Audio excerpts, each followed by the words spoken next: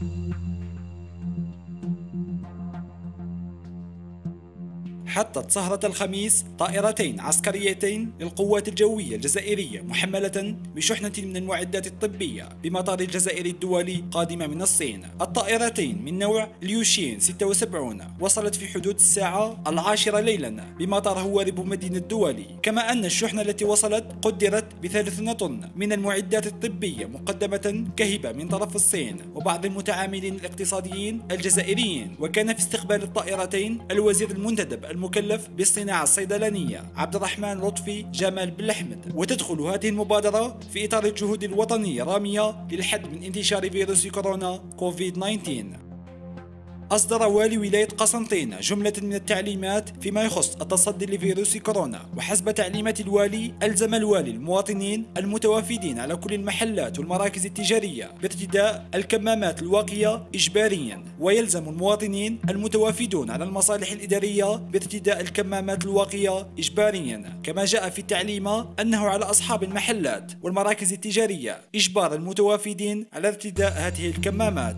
ويلزم العاملين بالمحلات المحلات والمراكز التجارية أيضا على ارتداء الكمامات الواقية وكل مخالف للإجراءات يتعرض إلى عقوبات إدارية بالنسبة لأصحاب المحلات والمراكز التجارية تصل إلى حد الغلق والمتابعة القضائية وغرامة مالية من عشرة آلاف إلى عشرون ألف دينار جزائري لكل من يخالف هذا الإجراء حسب ذات التعليمة وللتذكير. فقد أشار عبر القناة الأولى في الإذاعة الجزائرية وزير الصحة أن ما يثير مخاوفه هو عدد الوفيات الذي قال أنهم يسعون لتقليل تقليصه كما اعتبر الوزير أن ارتداء الكمامات يبقى الحل الوحيد في الوقت الراهن لاحتواء انتشار كورونا. وصرح قائلا أرجو أن تصبح الكمامة كحزام أمان في السيارة. يدفع من لا يضعها غرامة. وأردف قائلا لا نعلم إن كانت هناك موجة ثانية وأن الخبراء في العالم لا يعلمون ذلك. أعطى رئيس الجمهورية عبد المجيد تبون تعليمات بإطلاق قناة تلفزيونية وطنية خاصة بالتاريخ وجاء في رسالة رئيس الجمهورية بمناسبة الثامن ماي 1945 أن هذه القناة التلفزيونية ستكون سندا للمنظومة التربوية في تدريس هذه المادة التي نريدها أن تستمر حية مع كل الأجيال. رئيس الجمهورية السيد عبد المجيد تبون يوجه رسالة شديدة اللهجة لفرنسا بمناسبة الثامن ماي 1945 وجاء في هذه الرسالة بسم الله الرحمن الرحيم. أيتها المواطنات أيها المواطنون تحية الجزائر غدا الذكرى الخامسة والسبعين لمجازر الثامن ماي 1945 التي كشفت بصفة قطعية عن الوجه الحقيقي للاستعمار الفرنسي الاستيطاني الذي أباد ودمر وأحرق الأحياء وأتى على الأخ الأخضر واليابس وهجر وهتك الأعراض وحاول مسخ الشخصية الوطنية وزرع بذور الفتنة والتقسيم. لكن وبفضل صمود الشعب البطل شكلت تلك المجازر المنعرج الذي أقنع التيارات الوطنية بأن الكفاح المسلح بات السبيل الوحيد للتحرر واستعادة السيادة الوطنية. إن مظاهرات الثامن ماي 1945 السلمية التي خرج فيها المواطنون العزل بعشرات الآلاف في سطيف وكالما وخراطة قبل أن تتوسع تتوسع على امتداد أسبوعين إلى جهات أخرى من الوطن. سقط فيها ما لا يقل عن 45 ألف شهيد. وشهيدة بل قد يكون هذا الرقم أكبر بالنظر إلى الآلة الحربية المستعملة من قوات برية وجوية وبحرية. إلى جانب الشرطة وميليشيات المعمرين المسلحة ضد متظاهرين مسالمين طالبوا السلطات الاستعمارية باحترام وعد قطعت على نفسها بمنح الجزائريين استقلالهم بعد انتصار الحلفاء على النازيين. مكافأة لهم على دفاعهم على شرف فرنسا ضد الاحتلال النازي لهم. إن القمع الدموي الوحشي للاحتلال الاستعماري الغاشم سيظل وصمة عار في جبين قوى الاستعمار التي اقترفت في حق شعبنا طيلة 132 سنة. جرائم لا تسقط بالتقادم رغم المحاولات المتكررة لتبييضها لأن عدد ضحاياها تجاوز الخمسة ملايين ونصف المليون ضحية. من كل الأعمار أي ما يمثل أكثر من نصف سكان الجزائر. إنها جرائم ضد الإنسانية وضد القيم الحضارية الحضارية لأنها قامت على التطهير العرقي لاستبدال السكان الأصليين باستخدام الغرباء كما قامت على فصل الإنسان الجزائري عن جذوره ونهب ثرواته ومسخ شخصيته بكل مقوماتها. وإنه لواجب لمؤرخين اليوم استجلاء جميع جوانب هذه المحطة وغيرها من المحطات في ذاكرة الأمة إنصافا لحق الأجيال الصاعدة في معرفة ماضيها بأدق تفاصيله وبأعلى درجات الصدق في النقل. وإيمانا منا بأن الأمة التي تحفظ تاريخها إنما تحفظ ذاتها. قدرتها وتزيد في قدرتها على إنضاج الوعي الشعبي في التصدي لمناورات طيارات ولوبيات عنصرية. على الضفة الأخرى من البحر الأبيض المتوسط توقف بها الزمن في عهد غلبته إرادة الشعب إلى غير رجعة.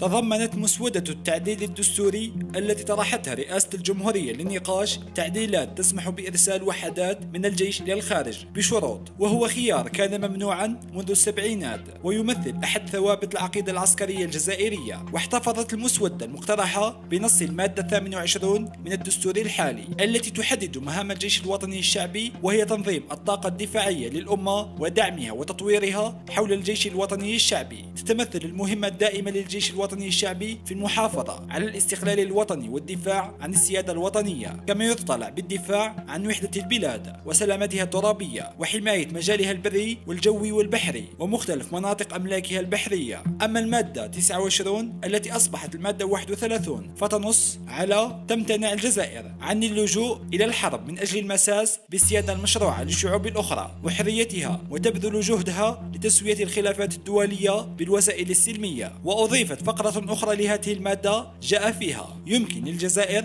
في إطار الأمم المتحدة الاتحاد الإفريقي والجامعة العربية وفي ظل الامتثال التام لمبادئها وأهدافها أن تشارك في عمليات حفظ واستعادة السلام. ويعد هذا التعديل المقترح تحولا في العقيدة العسكرية الجزائرية التي ظلت منذ السبعينات تمنع إرسال وحدات عسكرية للخارج. وذلك بموجب نص دستوري. وجاء في التعديلات الجديدة في مادتها 95 أن رئيس الجمهورية الذي الذي يتولى مسؤولية الدفاع الوطني يقرر إرسال وحدات من الجيش إلى الخارج بعد مصادقة البرلمان بأغلبية الثلثين من أعضائه. وكان هذا الملف محل نقاش كبير خلال السنوات الأخيرة في الساحة حيث رفضت الجزائر المشاركة في عدة تحالفات عسكرية عربية وإقليمية خلال السنوات الماضية بسبب العقيدة العسكرية التي تمنع الانضمام إلى أي عملية خارج الحدود. صرح وزير الطاقة محمد عرقاب على هامش اجتماع وزاري وقال تفاؤلنا كبير في عودة التوازن المرجو لسوق النفط خلال السداس الثاني 2020 سيما أن بعض الدول من قارات مختلفة مثل آسيا وأوروبا وستليها أمريكا شرعت في رفع الحجر الصحي تدريجيا مما سيتبعه انتعاش في الطلب. كما أشار أن مجموعة الدول أوبيك بلس اتفقت في 12 أفريل الماضي على تخفيض إنتاجها خلال ماي وجوان 2020 مطمئنا أن مداخيل الجزائر لن تتأثر من هذه التخفيضات. ينتظر العالم بأسره الكشف عن مصل أو لقاح لعلاج فيروس كورونا المستجد حيث تتسارع الكثير من البلدان لإيجاده. وقد أعلنت شركة صينية عن التوصل للقاح سيساعد في علاج المصابين بوباء كورونا. فقد كشف باحثون من مختبر سينوفاك بيوتيك في بكين أن الشركة تستعد لإنتاج 100 مليون جرعة من لقاح بدأت بتجريبه بشريا ويتم حاليا إجراء أربع تجارب من اللقاح على الإنسان بمقدار لا يتجاوز نصف مليمتر ويولد هذا اللقاح عنصر طفيلي خامل اسمه كورونا فاك يهاجم الفيروس. وأكدت الشركة المنتجة أنه ليس للقاح أي آثار جانبية بعد تجربته على القردة كما أوضح مدير هذه الشركة المنتجة للقاح أنه لا يعرف بالتحديد موعد توزيع اللقاح مؤكدا أن اللقاح سيعطي نتائج إيجابية. لكن تقارير كشفت أنه حتى مع النجاح اللقاح في تجاربه الأخيرة. لن تتمكن شركة سينوفاك بيوتك من إنتاج ما يكفي من اللقاحات لعلاج العالم بأسره. فيما كشف مدير الشؤون الدولية للشركة أن سينوفاك مستعدة للتعاون مع شركاء أجانب يشترون لقاحاتها الأخرى ضد الأنفلونزا والتهاب الكبد. هذا وقد صرحت الشركة إنها تعمل ليلا ونهارا معلنة أن لديها ثلاث مجموعات عمل مناوبة لمدة 24 ساعة وأكدت أنها لن تضيع أي دقيقة لتطوير اللقاح.